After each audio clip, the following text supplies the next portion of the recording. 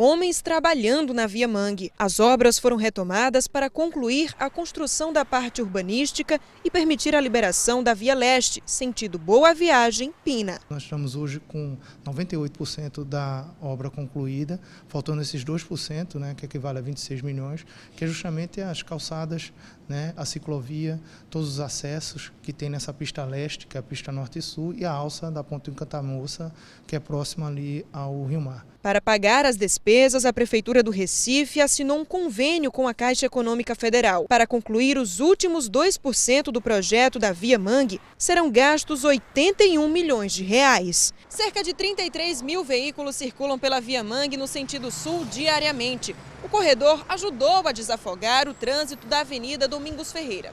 Agora só falta o outro sentido da via. A previsão é que a última parte da obra fique pronta até dezembro, com um ano e três meses de atraso. Desde que a primeira etapa foi inaugurada em junho do ano passado, vários reparos já foram feitos na infraestrutura, após roubos que danificaram a iluminação pública. Ocorreram vários furtos né, de fiação, foram cinco furtos, a gente sempre repondo. Uh, por fim, eh, no início desse ano, fizemos assim, uma parceria junto com a Secretaria de Segurança Urbana do secretário Murilo Cavalcante, onde ele instalou seis câmeras né, de monitoramento 24 horas, né, em conjunto com a SDS.